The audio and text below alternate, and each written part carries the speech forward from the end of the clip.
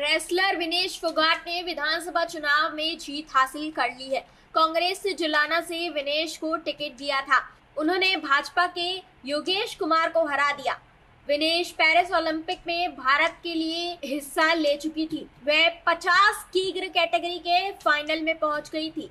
पूरे देश को उम्मीद थी कि गोल्ड मेडल आएगा, लेकिन फाइनल से पहले विनेश का वज़न 100 ग्राम ज़्यादा था और इसी वजह से डिस्कालीफाई उन्हें कर दिया गया। पेरिस ओलंपिक के बाद विनेश फोगाट के साथ बजरंग पुनिया भी कांग्रेस में शामिल हुए थे। बजरंग ने 2020 टोक्यो ओलंपिक में मेडल जीता था। विनेश की जीत के बाद उन्होंने सोशल मीडिया प्लेटफॉर्म पर लिखा, देश की बेटी विनेश फोगाट को जीत की बहुत बहुत बधाई। यह लड़ाई सिर्फ़ एक जुलाना सीट की नहीं थी सिर्फ़ तीन चार और प्रत्याशियों के साथ नहीं थी, सिर्फ़ पार्टियों की लड़ाई नहीं थी। यह लड़ाई देश की सबसे मज़बूत, दमनकारी शक्तियों के खिलाफ थी और विनेश इसमें विजेता रही। 2023 की शुरुआत में रेसलिंग आंदोलन की शुरुआत हुई थी। यह आंदोलन साक्षी मलिक के साथ मिलकर विनेश फोगाट और बजरंग पुनिया ने शुरू किया था। रेसलिंग फेडरेशन ऑफ़ इंडिया के अध्यक्ष ब्रिजभूषण शरण सिंह के खिलाफ यह आंदोलन किया गया था। महिला रेसलर्स ने ब्रिजभूषण पर यौन शोषण का आरोप लगाया था। यह आंदोलन जंतर मंतर पर शुरू किया गया था।